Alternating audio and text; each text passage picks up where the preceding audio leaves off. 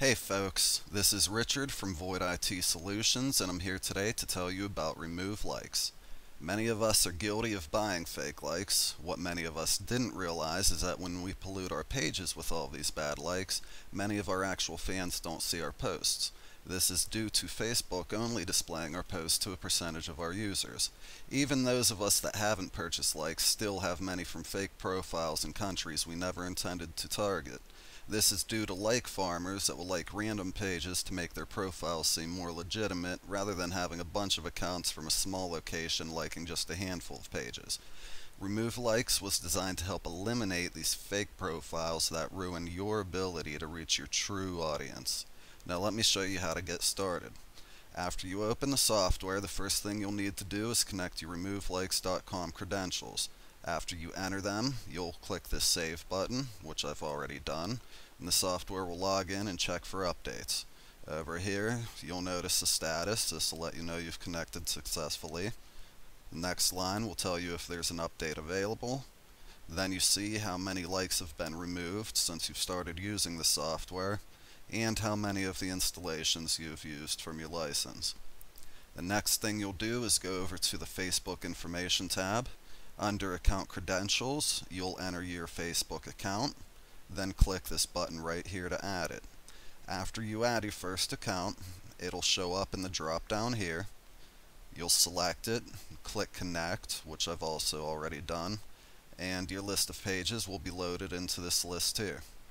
Now what you'll do is go ahead and select a page, then you can go on over to the Options tab and select your removal method. You can choose graph 1, which will remove fans based on the countries you select in the left.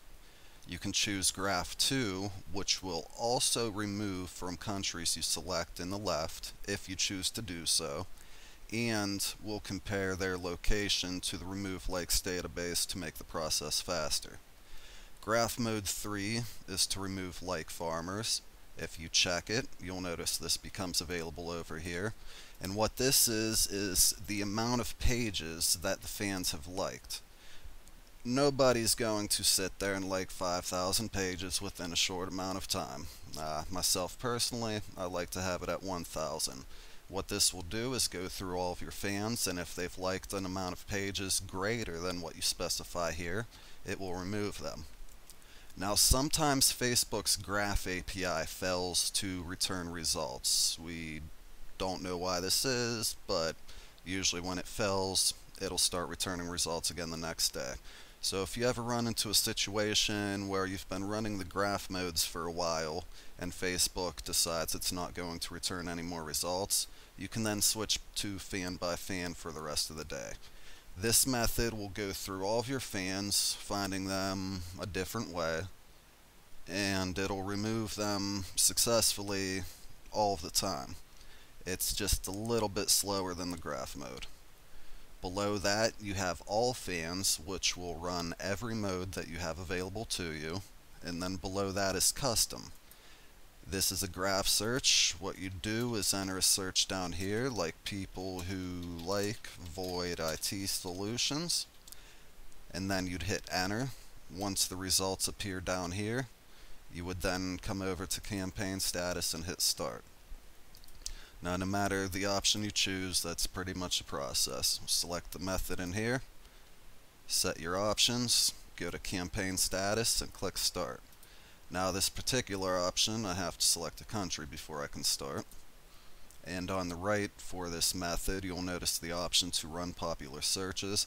What this does is say you choose Turkey.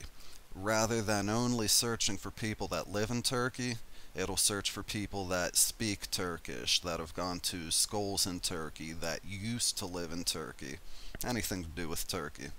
The popular searches will apply to any country you choose in the left. On the right here you have removal amount. Now our software has a good idea of how many fans your page has. Actually it knows exactly how many fans you have. What it doesn't know however is how many fans you have from Turkey or India so if you were to choose graph mode 1 and Facebook only returns 50 results, then the software thinks it's done at 50. So the minimum removal amount on the right here, say you have 100 fans from Turkey, you can enter 100. Then if Facebook only returns 50 fans, the software knows, A, that's not all of the fans from Turkey I have, so it'll go ahead and try other methods to remove them. Over here you have options for fan by fan mode, which if you select, you can continue from the last job. We have this in here for fan by fan because of the way it runs and the fact that it runs a little slower than the graph searches. And right here you have remove fans with no country. What this will do is when it's running through all of your fans, if they don't have a location set, it'll go ahead and get rid of them. Now down here you have your proxy options. You hit choose to select a proxy file, clear if you decide you don't want to use it anymore, and then on the right you have max sequential proxy uses. We found during testing that if you remove over 2,000 fans from one IP address in one day, you may get banned for 24 hours. So if you intend on removing a large amount of fans in a short period, we highly recommend that you use proxies and keep the max sequential proxy uses at 2000 or below. What'll happen once it hits 2000 fans, it'll go ahead and move to the next proxy in your list. I'll go ahead and select all fans here. You can see it's chosen all of the countries. All of the methods are grayed out. That's because it's using all of them anyway. Go over to campaign status.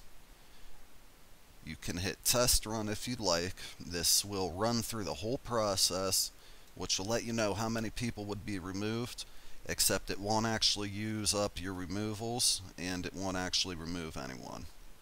Or if you're ready to go, you can click start, and that's it.